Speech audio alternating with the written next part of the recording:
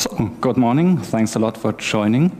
Um, a lot of people are here, so it seems we have a lot of users of ETC. I think everybody touched a configuration file in ETC already. My name is not Thorsten Kuckuck, and I'm not a distinguished engineer. I'm Ignaz Forster. I'm also working for SUSE in the same department. Uh, Thorsten is sick today, so I'll try to have his presentation. So, ETC. Why do we think, or why are we having this talk at all? First of all, we, as OpenSUSE, as a RPM-based distribution, uh, has RPM files which declare configuration files as a, as a special configuration file. Uh, we have the same mechanism in other distributions, in Debian-based distributions, uh, and I guess every distribution will mark configuration files as special. So what does that mean? Um, if we want to declare a configuration file um, and we update the system, we'll get a conflict if the administrator also decided to update that system. So the question is what should be done. Depending on what the package maintainer decided to do, we'll either get an RPM save file. Uh, in that case, the modified file will be moved away and the configuration file distributed with the package will be put in place. Or it can be the other way around. Uh, the new configuration file uh, will be moved onto the site with an extension .rpm, new, and the, and the uh, configuration file modified by the administrator will stay in place. In both cases, we have a conflict because you can't be sure what actually changed in the configuration file, and the administrator has to actually touch that and check for the differences. So it has been that way for a lot of years, so that may lead to, to the assumption that everything's perfectly fine there. But, as I said, um, it may not be ideal because the administrator has to do some manual search for those files on every update, and he has to check for the differences, and merge all those changes manually in there. Oh, by the way, I'm sorry, that's a very text-heavy presentation. I hope uh, we can get into some discussion and may use that as a reference. Um, so, um, if those configuration file changes actually contain a security update, we now have two cases. Either the security update won't be applied because the administrator modified file will just stay in place and the security configuration option just won't get updated, or the administrator will just lose his configuration completely without even asking, uh, and that's not ideal, we think. The talk is also referencing atomic updates. So what is an atomic update? An atomic update, uh, we have some atomic distributions. We have the most famous one, probably CoreOS. On the OpenSUSE side, we have MicroOS and Kubic. On the Fedora side, we have Fedora CoreOS now, or the atomic host.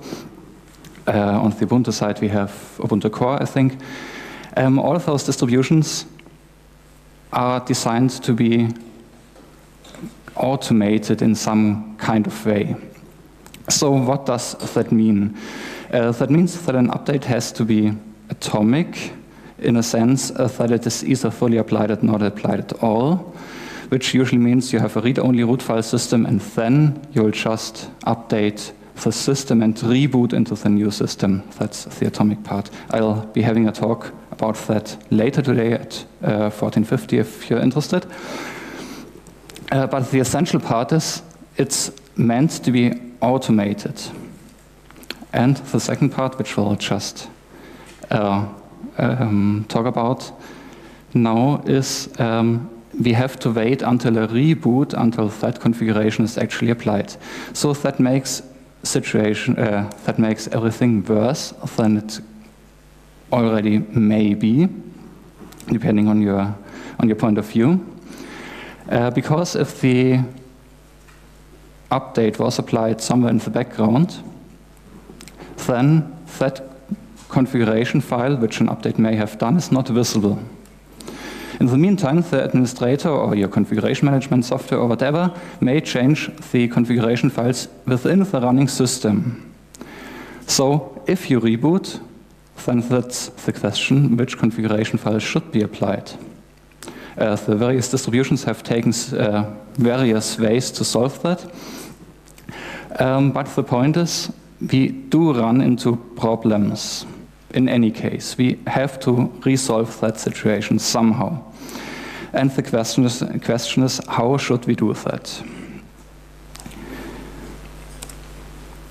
Um, I already told so. There are a lot of distributions, or most major distributions also provide such an atomic update mechanism. Um, but each distribution is doing its own thing, basically. So if anybody is approaching an upstream project and says, oh, we want to change something, could you please modify whatever we need? Then probably the answer is, does it work for all distributions? And the answer is no. So there's basically no interest in doing distribution-specific patches, usually at least. So basically, it's all left to the user again. The user has to uh, just check for conflicting files again, do all the manual work, and that completely destroys all the intended automation which was supposed to be done. So, um, what will I be proposing today? By the way, that's open for discussion. You can always interrupt me, and uh, if you have better ideas or want to uh, suggest something. Um, we would need a mechanism uh, which would separate the configuration done by the package or the upstream uh, project and the configuration specifically or intentionally done by the administrator. Um, in that case, uh, it says two directories, etc, and something below user. Why below user? Because that's obviously not meant to be touched by the administrator. At least that's what the FHS says. Um, and etc because yeah, that's where the configuration files are nowadays going anyway. Um, we need some guidance for uh, new developers to get things right, and also for the distributions, of course. And uh, the goal would be to migrate existing packages to use that configuration mechanism, which would be splitting up those configuration files, uh, one package at a time. So of course it would be obvious to start with the atomic, uh, with the packages included in the atomic host, and then extend it to the complete distribution. Um, Lennart Poettering wrote a blog post several years ago about a stateless system, and that's basically what that's trying to do. So you can just delete etc, and you still have a working system which will just use the default settings. Uh, I'm not sure if is Lennart here. I don't think so. Ah, yes. If that's still uh, a current thing you're thinking about, uh, but yeah, that's basically uh, what that's that could be reachable by that if everything's working as intended. So, um, in the end, the administrator should just be notified if something get, got updated. It should be visible what the administrator was uh, cha actually changing, and uh, it would be ideal if those changes would just be applied automatically. So, proposals. What are we suggesting? Um, I should note we've already discussed, discussed several things within the OpenSUSE community, uh, and we are trying to get into more, uh, to reach out to other communities now. I think that's a perfect opportunity here. Um, in the end, we have systemd already, which is doing exactly that. systemd will provide its default configuration files in userlib systemd system or userlib systemd somewhere, and then it's possible to overwrite either complete files by placing a file of the same name in etc or run, but I'll ignore run for now. Um, and you can also override just snippets of a configuration file by appending uh, .d, uh, by creating a directory with the suffix .d. So in that case, we have uh, etc application.conf, or we could also just put a file in etc application.conf.d slash something.conf, and we could just override whatever we want there. So in the end, it's a lot of, uh, it depends a lot on the application, what actually needs to be done, or if a uh, an application is able to support such a mechanism at all. For example, the drop-in part may not be trivial. If you think of Apache, that's a configuration file which is really complex and just merging parts of it will probably simply not work. But what would be possible in almost all applications is to use two directories to actually read the configuration. And if we have a look around on the system, we noticed that a lot of applications, also basic system applications, support such a mechanism already, but at least on OpenSUSE it's simply not used. If you have a look at PAM, PAM already is reading from userlib PAMD and etc PAMD. Uh, we have sysctl, which is even supporting uh, drop-in files. Uh, LD, config is also using um, several directories, also with, with drop-in files or with extension files.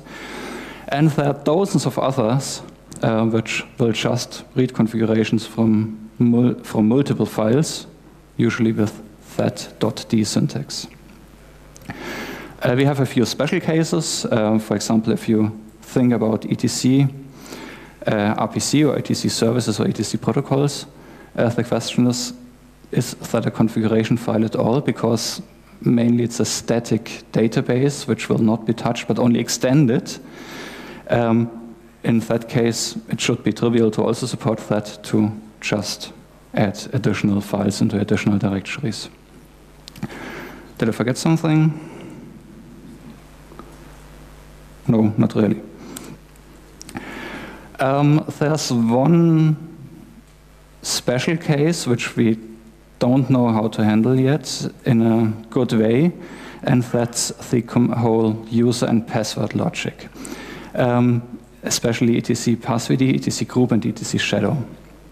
Uh, the problem is, um, how do you want to actually split that up? Because um, if you do, like it's just suggested here, put all these system accounts in user lib whatever, uh, you have the problem that you just blocked the administrator to not be able to touch those or remove, those accounts anymore. And you still have um, one file which would contain all the passwords. So there's no real separation uh, which could be done reliably. Uh, one of those problems, by the way, is uh, that uh, if you would split it up into several files, uh, NSS Compat, in case anybody is using it, but I think uh, customers will actually do, um, wouldn't work with that approach.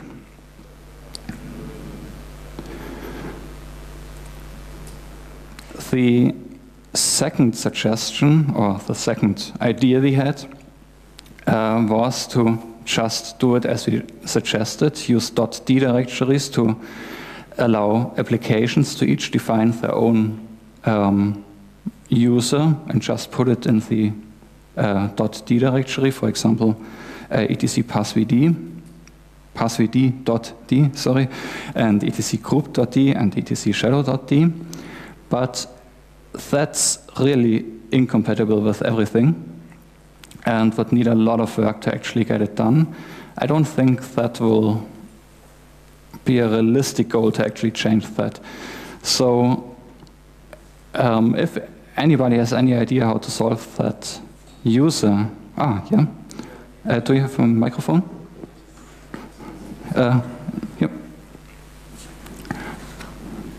Um, like at least for exposing new users dynamically, you could use NSS, but that doesn't solve how to do the password stuff. That needs some stuff in PAM. Exactly, yeah.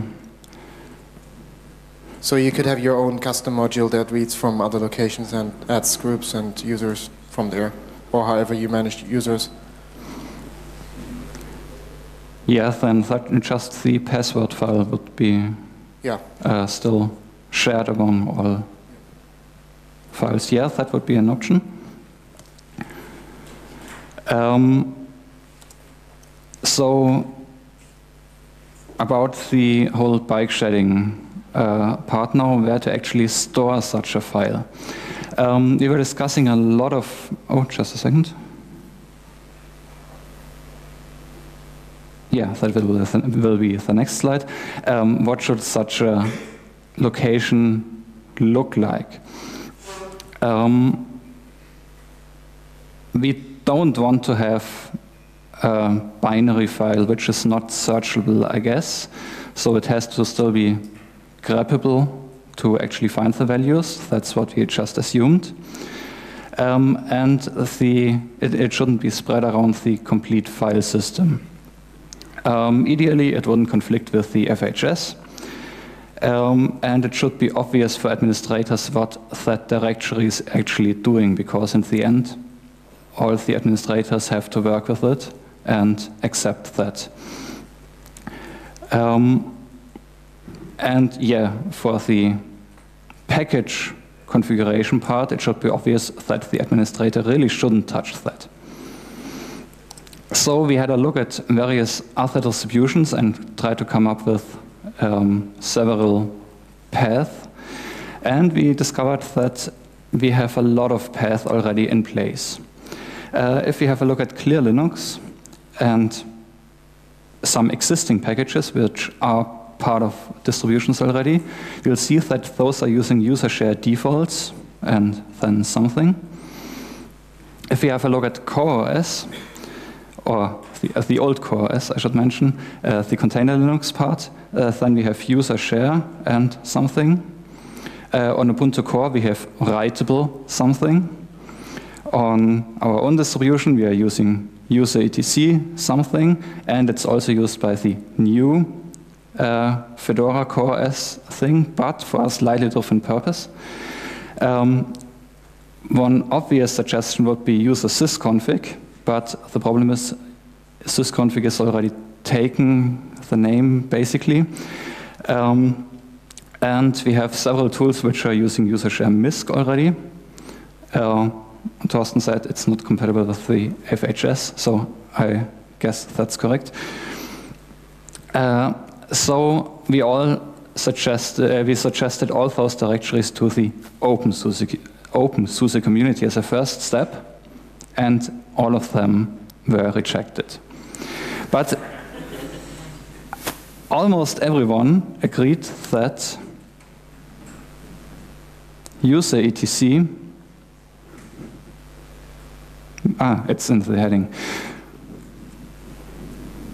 yeah it is uh, user etc would be an excellent idea because that's what is short it is below user, so it's obvious it shouldn't be touched.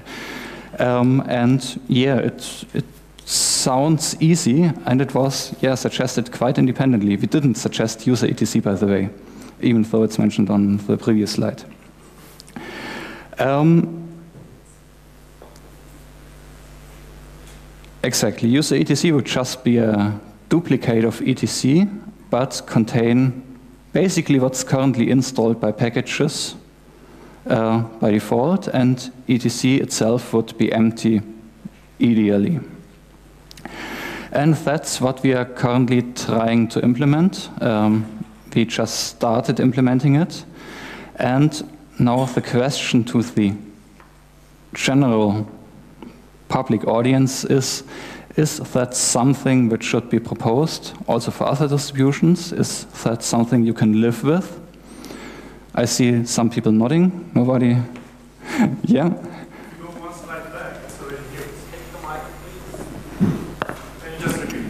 The question was, if you go, or the comment was, if you go one slide back, it's already in use by something else. Exactly, it's already in use by uh, CoreOS, uh, by Fedora CoreOS.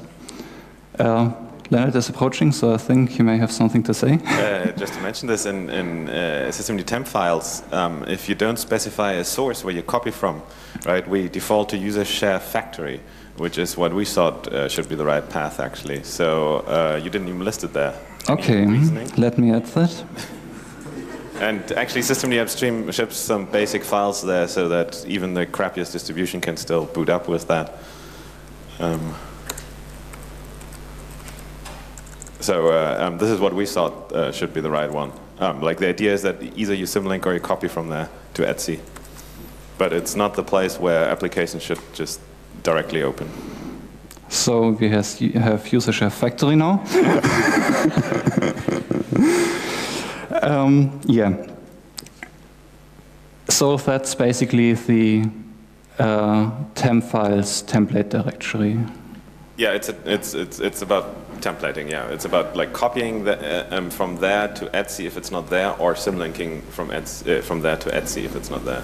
It's what we thought um, would make the most sense and documented as part of that. Okay, cool. Um, another thing to consider. um, additionally, what uh, we currently are doing is, uh, as NixOS is not installing stuff um, as specified in the FHS, but every package is installed in its own prefix.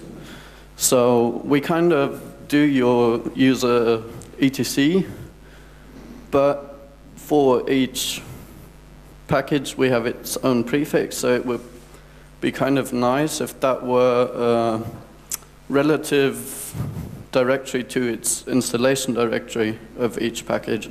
So we have, for example, slash nix, slash store, hash, uh, I don't know, cups. and then below that we have bin cups and we have etc default configuration files, which we don't necessarily use, but we build our own configuration file, but kind of having this um, relative directory to some etc default being used would be nice. Uh, which distribution is that? That sounds like Ubuntu, but... NixOS. NixOS, okay.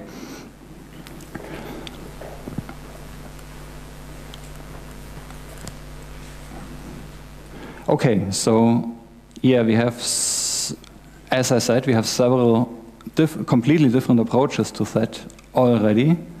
And yeah, the question is how can we get some common uh, criteria? I mean, in the end, it's not that important because if we get the applications to support such a mechanism, uh, then we have the ability to just change the second path via a configuration option when compiling the application. So if we couldn't agree on one path, we could just say at least we get the applications to support that. And everybody is able to use an, a custom path.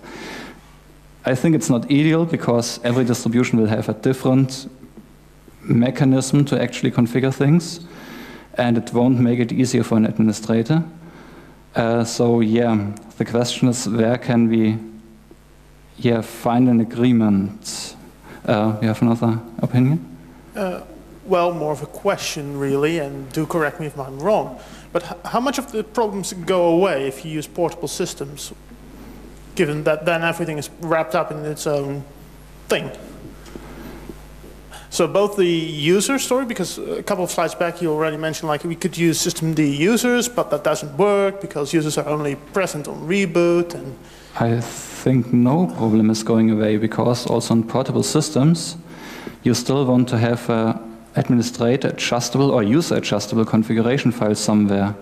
So if you're packaging that as a portable app, where are you actually storing the user configuration file?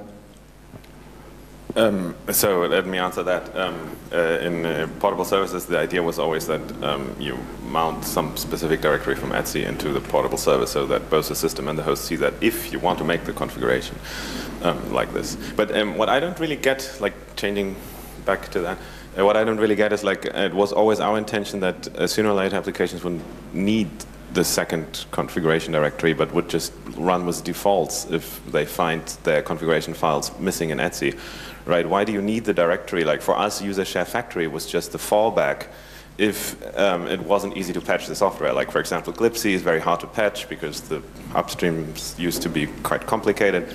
Um, so it wasn't easy for us to, to I don't know, teach um, glibc um, that it would read, like, or not read anything but default to defaults from, from slash user, but we always thought that it should be up to the applications individually to put that somewhere in user share, user lib, or wherever they wanted. Why have a common directory there if it's not just for the stopgap to support the few components that still don't default to built-ins? Because we have a lot of applications which, which depend on files in etc.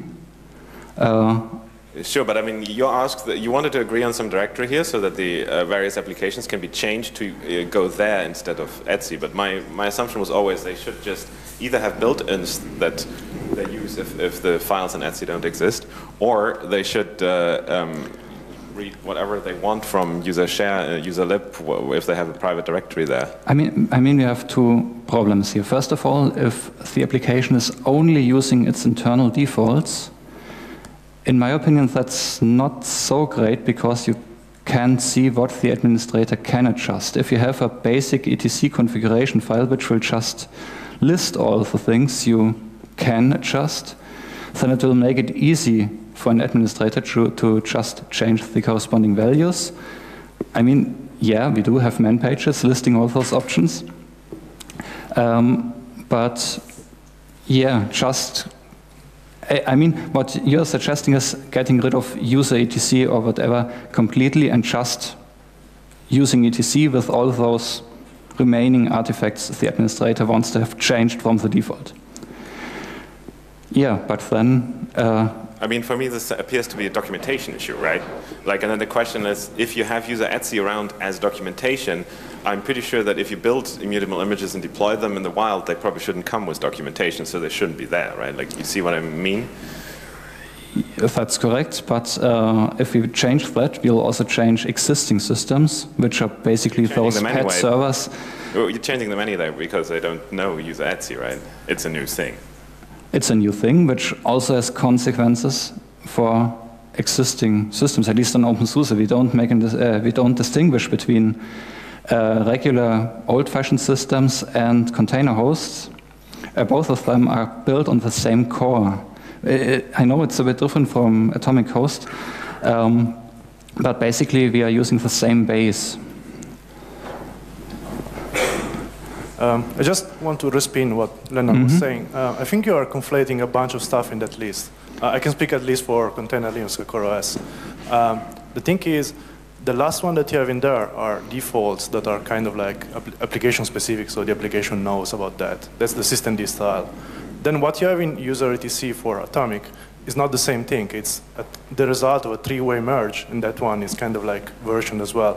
What you have in at the first, at the second line in container Linux, it's another different thing, which is some applications don't know about that, but the first time that you boot the machine, uh, we are copying those files in another place in etc. And then there is another category of application that are like, um, they can use defaults that are symlinked directly to user. So it's kind of like, there are at least four different categories into this list. And I do agree with that, what Lennart was saying, which is, uh, I prefer to have ATC as user customization, which is something completely different from like user distribution defaults. And the fact that right now there are some distribution like Atomic or Fedora CoreOS that are doing this three-way merge in order to version etc is kind of like a stopgap solution from my point of view. Like it works mostly, but it's not the same thing as the other stuff that you are listing. So I think that like we are speaking past each other because you are putting all of these into the same category. The question is which directory we, we wanted to use. We know that uh, use etc is for the three-way merges in in Atomic uh, in Fedora CoreOS. Sorry, all the name changes. um, and that's why we hesitated to use that as the default directory for OpenSUSE in that case now. Um, but that doesn't mean that it's supposed to be the same thing. Uh, we just recognized the name clash, and it's used for similar things, mainly, uh, which is uh, somehow getting a configuration file merge. Um, do we have? Uh, yeah. Um, so, first comment about uh, the problem with sys users and the users being created after a reboot. So, uh, this is essentially a solved problem in, in, in, Mandriva. They split out the sys users configuration to a separate uh, package and have a, a transfiles trigger to create the users when the package is installed, so that when the package that actually has files owned by those users is installed next, the users are already there. So it's not really a, a blocker. Um, and as for the general um, thing, you, you, there are two things.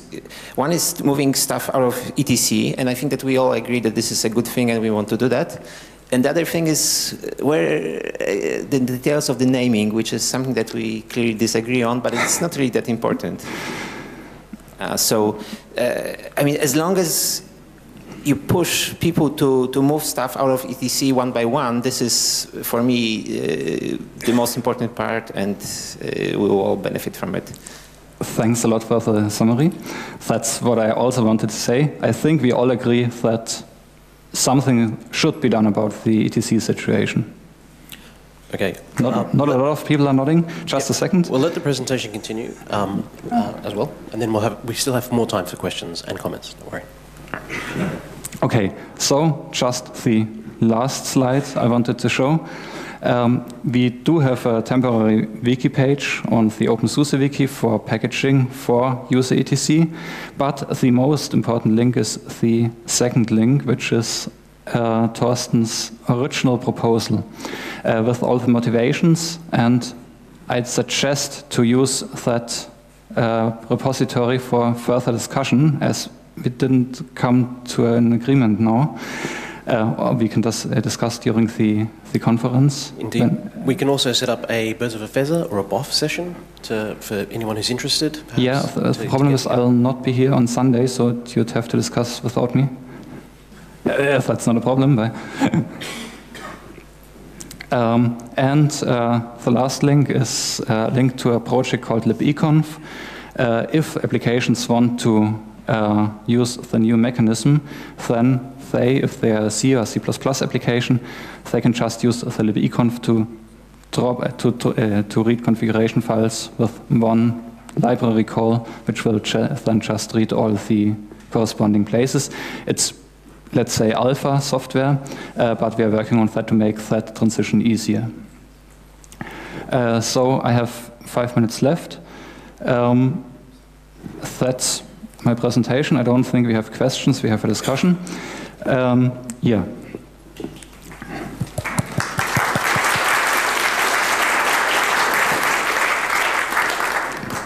Um, so thanks for the presentation. I do agree completely with the problem statement. Uh, what I'm asking myself a bit is fi if files really cut it anymore, or if we need some kind of different storage for configuration files. First of all, when we are merging things together, we have different formats. Some configuration files may be, might be for instance, in XML, which is not so easy to merge just by appending files together, for instance. Um, I think CUPS solved this problem by not having a root element in CUPS printer files and so on, but there might be other programs with that problem.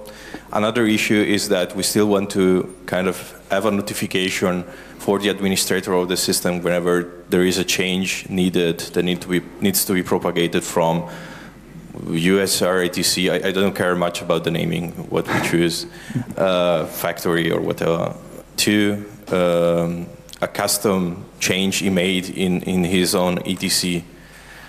Uh, and it looks like this, this kind of problem has been tackled before, like uh, I'm thinking about dconf, for instance, which also has a binary format for configuration files. Or even, I'm going to name the devil, I mean, the Windows registry. So, what do you think about, do, do files still cut it for our current needs? In my opinion, yes, because it's a really simple format, which is quite obvious to search for. If you're thinking about the Windows registry, that's, in my opinion, a really bad example of how to do it because it's almost not searchable in, a, in an efficient way. And yeah, you simply don't find anything in there. Now, with, the, with different configuration files, you have one directory or one file, usually at least, uh, per application. So if you're looking for your application, you can just search the default, uh, the default directories in etc, and you'll find all the configuration files belonging to that. A registry would have one advantage, namely being that you get a, a, standard for all the applications. It would force applications to, to obey to those rules of that format. Um, but again, a lot of Linux applications, especially ported to Windows, will still keep reading their own configuration files because it's simply not possible to squeeze everything into that format. So we won't get rid of, of files in etc anyway, in my opinion. You have to have some way of configuring it, of, of having extended configuration formats. Does that answer the question? So yeah, I think con uh, configuration files are easy to understand and to edit.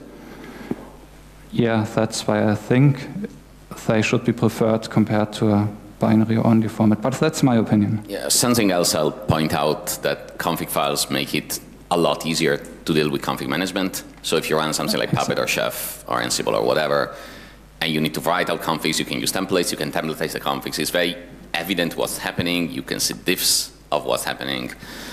If you're doing this in other environments where you don't have this possibility, you end up having to deal with amorphous concepts that mutate the system.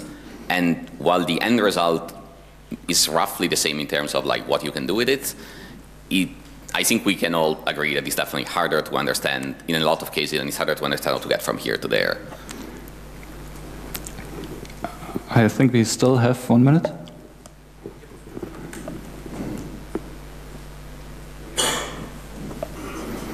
Last question or comment? I mean, I'm just responding to that too because nobody else is asking a question. Um, uh, the, the, problem is also with uh, uh, things like gconf and dconf, they have semantical problems because um, they store every uh, bit of information separately. Um, and evolution, for example, you know, this email program from the GNOME people, then famously ended up um, sticking uh, XML configuration into one key because they wanted to have atomic updates. And you just think, okay, then yeah, you have to give up. Um, so all these things like registry and these things ended up having semantics that are not compatible with how most people who understand and have non-trivial programs actually want to do stuff because they want more atomicity and be able to change the whole configuration at once. And yeah, files are crap, but they kind of allow you to deliver this in some way or another. So yeah, it's a complicated issue, and I, I don't think any. Um, yeah, I, I, mean, there have been attempts to unify on something like Elektra or something. There was a project like this, all failed. And dconf is certainly the most successful one because it has most of GNOME behind it. But um, I, I see no way in the world that's a political thing where the semantics are not strictly better. I would not want to fight that fight. All right, thank you. We've actually run out of time. Um, thank you, Thorsten.